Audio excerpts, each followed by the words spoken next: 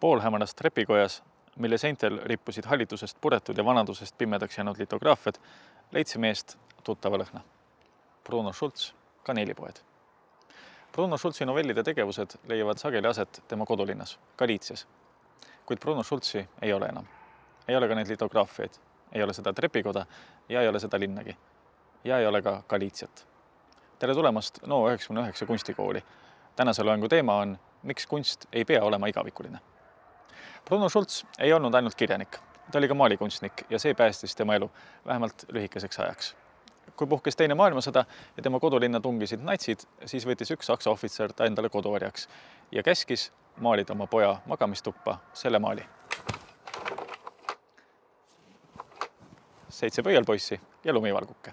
muide, pöialpoisteks maalis Schulz ennast ja oma sõpru, teisi juute. kuid see ei päästnud siiski igavesti tema elu ühel õhtul koju minnes tuli tänaval vastu teine saksa ohvitser ja laskis talle kuuli pähe. seinamaal krohviti kinni ja unustati peagi. Polaroid. Polaroid ei kesta igavesti, ta hävib ajas.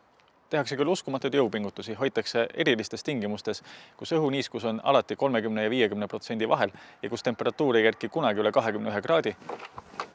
kuid see ei aita. varem või hiljem hakkab üks pigment tuhmuma, siis teine, siis kolmas ja Polaroid hävib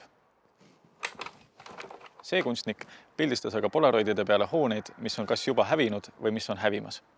nüüd ei ole enam küsimus ainult sellest, mida ta kujutab, vaid mis asjad need fotod ise on.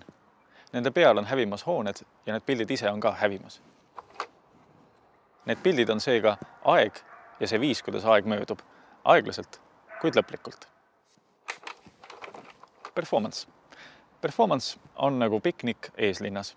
kokkulepitud ajal tulevad inimesed kokku püherdavad natuke aega veres või mudas ja lähevad siis laiali. Nad ei kohtu enam kunagi. see, mis juhtus, jääbki sinna hetke. Muide, üks põhjuseid, miks performance kunst üldse sündis, oli see, et nad vaatasid, et kõik teised kunstiteosed, mis tegelesid igavikuga, on mingil moel müüdavad, ostetavad, vahetatavad, neid saab kollektsioneerida, saab koduseintele panna ja nemad tahtsid teha midagi, mida ei oleks võimalik panna vahetusväärtuseks. muuseum. me oleme harjunud asju muuseumis vaatama siin hoitakse asju alles ja nad säilivad igavesti, nagu näiteks Lenin. Ja me usume, et kui juba muuseumis mingid asjad, nagu näiteks kunst, säilivad sada, tuhat või isegi kaks tuhat aastat, siis äkki püsib kõik maailmas igavesti. me kardame surma ja kadumist ja meile ei meeldi, kui meile seda meelde tuletatakse. seega meie probleem kunstiga, mis ei tegele ainult paremate või halvemate aegadega, vaid kõigest hetkega, milles elame praegu, on seotud meie endiga, mitte kunstiga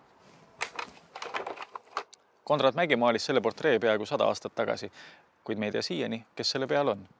inimene justkui istus ateljees, justkui poseeris, justkui maaliti teda, aga kes ta on, me ei tea.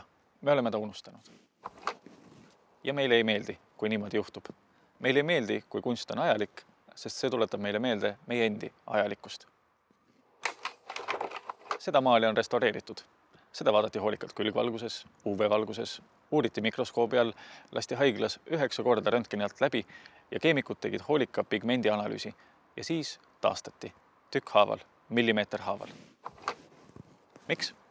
sest me tahame, et kunst säiliks. aga tegelikult me tahame ju, et kõik säiliks igavesti ja et säiliksime kas meie või vähemalt mälestus meist võiks säilida igavesti. jääb üle ainult üks küsimus. kui me ei suuda näha argises hetkes ilusat, siis kuidas me loodame igavikus näha poeesiat? Urmas Ploomipuu. Ta maalis oma elu jooksul ainult neli õlimaali ja need kõik on sellised. argised esemed, nõukaaegne banaalsus, mitte midagi igavikulist. ja just seda suur osa nüüdisaegsest kunstist teebki. ta elab koos meiega, samas hetkes, kus meie, samas ruumis, kus meiega, samal ajastul, samal päeval, kus meie ta ei ela kusagil tuhande aasta pärast tulevikus, vaid ta aitab elada meil siinsamas. näiteks täna. täna õhtul, pühapäeval istub ta koos meiega teleka ees ja tõstab kohe puldi ja lülitab koos meiega teleka välja. aitäh!